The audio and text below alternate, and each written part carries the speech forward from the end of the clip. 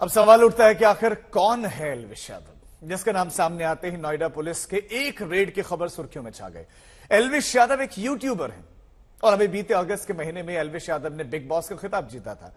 लेकिन एलविश की सिर्फ़ इतनी ही पहचान नहीं है। आइए आपको दिखाते हैं एलविश यादव आखिर हैं कौन। जिस एलविश यादव का नाम इस वक्त सुर्खियों में है, जिसके नाम पर इतना बड़ा बवाल हो गया जिसकी हरकतों के खुलासे के बाद पुलिस अचानक अपने पंजों पर खड़ी हो गई। सवाल उठता है कि आखिर वो एलविश यादव कौन है? असल में एलविश यादव फ़ेमस यूट्यूबर हैं। एलविश यादव शॉर्ट फ़िल्में बनाते हैं। यूट्यूब की बदौलत ही एलविश शोहरत के आसमान पर हैं। एलविश ने साल 2016 से यूट्यूब चैनल की शुरुआत की थी। एलविश के पास दो चैनल हैं। एलविश यादव ब्लॉग्स और एलविश यादव।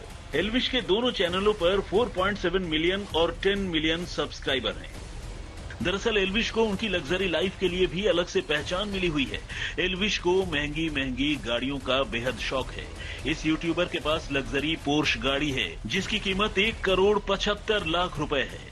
बताया जाता है कि एलविश के पास गुरुग्राम में कई फ्लैट्स हैं, वजीराबाद में चार मंजिला मकान है। इसके अलावा वो एक नया घर बनवा रहे हैं। जिसकी कीमत करोड़ों में बताई जा रही है। बिग बॉस का खिताब जीतने के बाद जब एलविश ने हरियाणा के मुख्यमंत्री के साथ मंच साझा किया तो उसकी चर्चा कई दिनों तक सुर्खियों में होती रही। अब सवाल यही उठ रहा है कि क्या एलविश को उनकी इस करतूत के खुलासे के बाद भी गिरफ़्तार किया जाएगा? कि एलविश यादव की मुश्किल बढ़ने वाली है। एलविश यादव की मुश्किल इसलिए बढ़ेगी क्योंकि जो सेक्शन लगाए गए हैं, वो नॉन अवेलेबल हैं।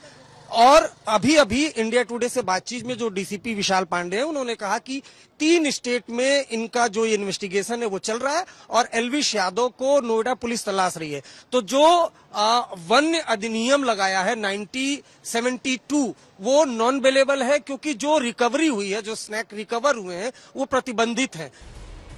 या यहाँ भी उनका नाम और उनकी शोहरत उन्हें कानून के शिकंजे से बचाकर उनके बेहद खास होने का सबूत देगी। Ajda Bureau.